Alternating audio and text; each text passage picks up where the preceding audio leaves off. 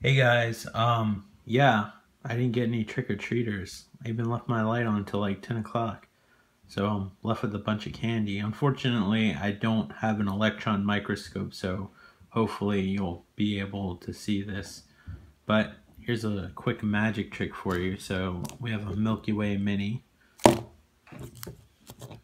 It's about the size of, what can I compare it to?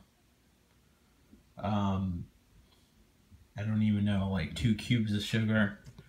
What? Check this out. So we have a mini. Bam. Fun size. Just we so we have a comparison.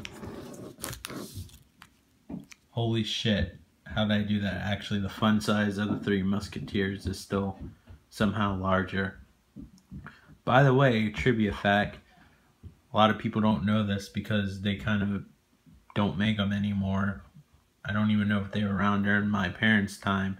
But um, there used to be three varieties of Three Musketeers chocolate, strawberry, and then this nougat flavor. I don't know if they got that stuff from a volcano or some weird area like the stuff from the movie The Stuff came out. I don't know if you saw that cult classic, but definitely check out the movie The Stuff. It's awesome.